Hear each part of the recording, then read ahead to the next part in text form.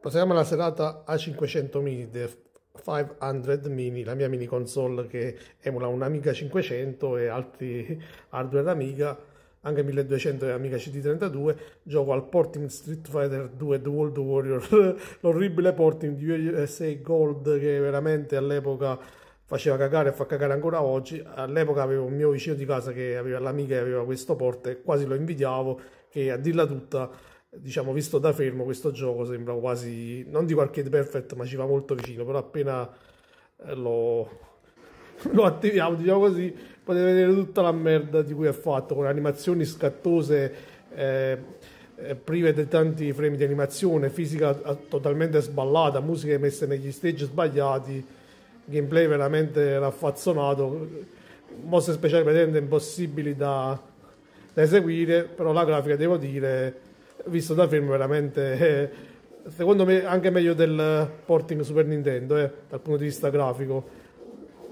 Eh, se non eh, badiamo alle animazioni veramente scattose e alla fisica super sballata eh. questa poi la musica dovrebbe scimmiottare la musica della schemata di selezione dei personaggi che lo stage di Darcy non c'è zecca la mazzata vabbè. Poi ovviamente manca il parallax scrolling per carità all'epoca quasi invidiavo il mio amico che aveva questo port, possessore di amica.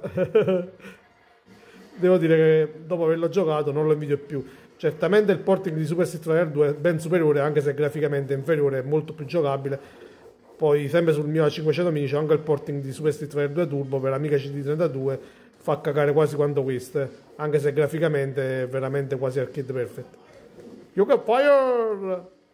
Nella rivista dell'epoca quasi lo vantavano questo titolo perché veramente graficamente era, secondo me, visto da fermo, immobile, era stupendo. Veramente molto simile all'arcade, però in movimento faceva tanto, tanto, ma tanto cagare. Come si fanno le poste speciali? Vabbè, con la mano sola è quasi impossibile. Con un sistema di controllo ovviamente due tasti. Eh. Vabbè, buona